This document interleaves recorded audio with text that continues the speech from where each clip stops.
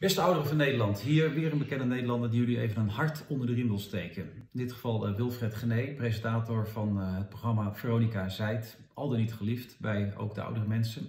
Um, vanaf deze plaats nogmaals heel veel sterkte toegewenst, zoals ook mijn voorganger Klaas Dijkhoff dat deed in dit geval. Ook hij zei al dat u veel heeft meegemaakt door al die jaren heen. En daar zal misschien ook de Tweede Wereldoorlog voor velen van u bij hebben gezeten. Um, maar dat was een zichtbare vijand. In dit geval gaat het om een onzichtbare vijand die ons op dit moment in de greep houdt en zorgt voor de nodige eenzaamheid en onzekerheid. Uh, ik heb het gelukkige genoegen dat mijn ouders nog in goede gezondheid samenleven in, in ons eigen ouderlijk huis. Maar ik kan me heel goed voorstellen dat heel veel mensen in eenzaamheid op dit moment het hartstikke zwaar hebben. En al die mensen wil ik ook namens mijn collega's Johan en René uh, enorm veel sterkte toewensen. En ik hoop dat er mensen in de naaste omgeving zijn die jullie kunnen helpen. En probeer anders een oproep te doen dat tot.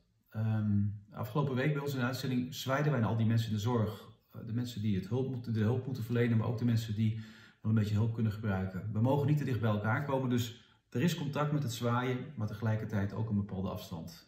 Toch, blijf vooral naar elkaar zwaaien, blijf het contact zoeken. Um, heel veel sterkte toegewenst en vanaf deze plaats geef ik graag het stokje over aan uh, mijn collega John van de Heuvel.